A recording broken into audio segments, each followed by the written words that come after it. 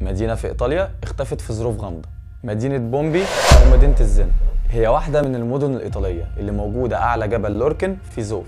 كان معروف إن أهل المدينة دي منغمسين في الشهوات وكان موجود فيها بيوت دعارة كتير جدا.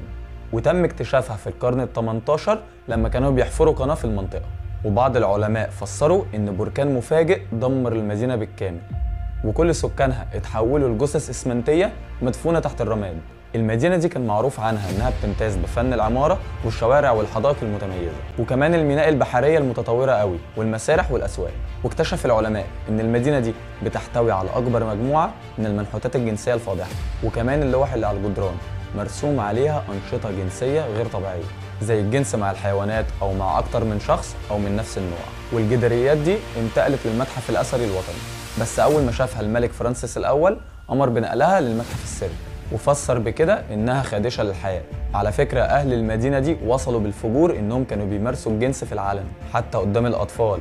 واللي كان بيستتر كانوا بيتريقوا عليه ويستنكروا منه.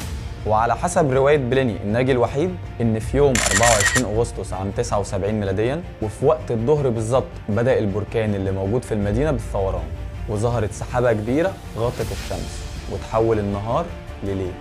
السكان حاولوا يهربوا عن طريق البحر. وناس تانية دخلوا بيوتهم عشان يستخبوا فيها. ويقال يعني إن اليوم اللي حصل فيه كده كان عيد آلهة النار عند الرومان وبيوصف بليني وبيقول إن السحب كانت مغطية الشمس كلها والبركان كان بيطلع نار كتيرة جدا والناس كانت مصدومة من اللي بيحصل. وحصلت هزات قوية قوي في الأرض وارتفاع مستوى سطح البحر اللي هو تسونامي دلوقتي. وبعد ما عدى 1600 سنة تم اكتشاف الجثث بس كانوا على هيئتهم بالظبط.